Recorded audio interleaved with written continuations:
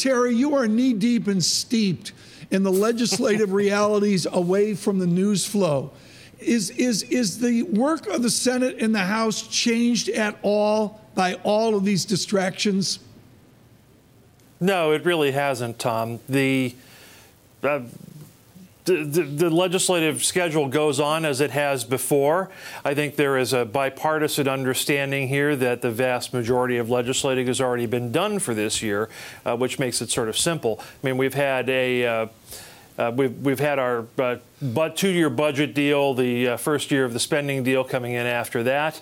Uh, there will be a variety of things done by both parties to position themselves uh, for the November midterm elections. Uh, but I think by and large, legislating is done right. here, so there's very little to distract. I want you to explain, Terry, with your grizzled work in the cigar smoking corridors of the Willard Hotel, where the gentleman from Iowa fits into this mix. Senator Grassley is doing more than just being the senior senator. He's looking at the president. He's looking at all the president's men. How does Chuck Grassley fit into the Haines matrix on a Monday morning? Well, Senator Grassley is one of the most senior senators in Washington, Republican of Iowa, as you say.